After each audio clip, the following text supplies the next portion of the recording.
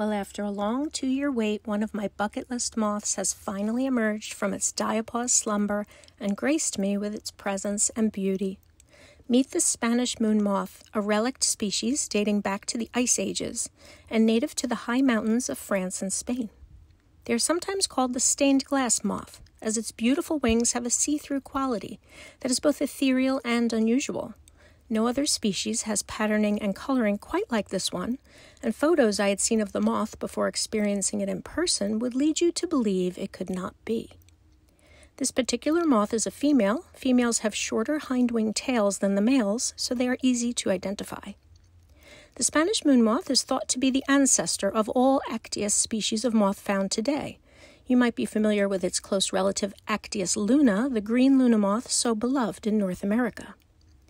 These moths are incredibly hard to raise and breed and are considered a difficult species for even the most experienced breeders largely because their natural habitat in the Alps and Pyrenees Mountains has weather and atmospheric conditions that are difficult to replicate in captivity. Nevertheless, they are highly sought after for their delicate beauty. Notice the tufted scales that appear furry on the moth's abdomen and along the edges of the inner wings.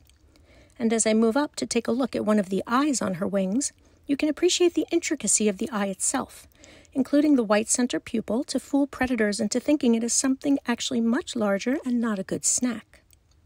And here's a little close up of her face and dark eyes, and you can see all the delicate little fringes on her yellow orange antenna. And here you can see her fuzzy abdomen with yellow stripes against burgundy tufted scales. So I hope you enjoyed this short visit with one of my all time favorite moths, there are currently seven more of them yet to emerge, so I'm hoping for a male as it would be wonderful to raise more of these beauties. If you'd like to follow along, please subscribe so you'll never miss what's next to come. And as always, thanks for watching.